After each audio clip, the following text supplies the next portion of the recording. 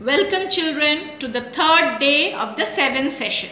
Third day of the seventh session.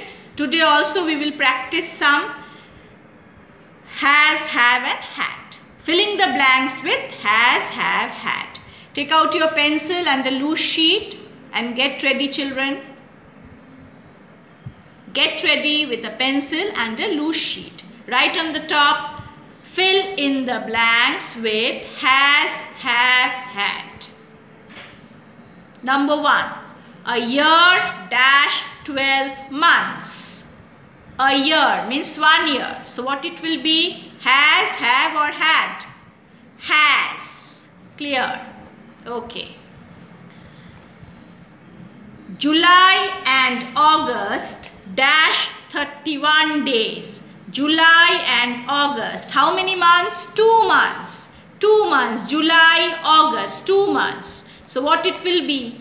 Has or have? Have. Very good. Have. Because more than one. July and August. More than one. So it is have. Rohit dash many friends. Rohit one person. So it is has.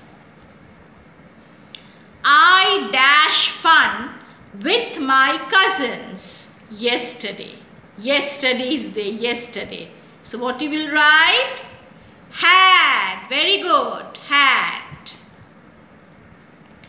Paula dash cold last week. Last week. This is past tense. Last week.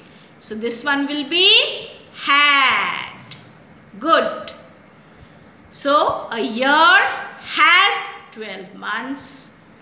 July and August, 2 months, more than one, 2 months, have 31 days. Rohit has many friends.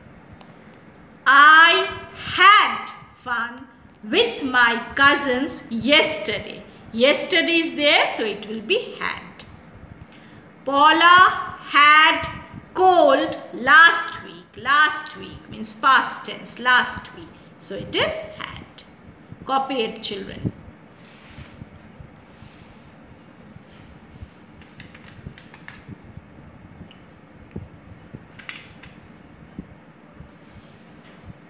I have given you some exercises in the, on day 2 and day 3 uh, to practice at home. So practice those uh, uh, sentences at house.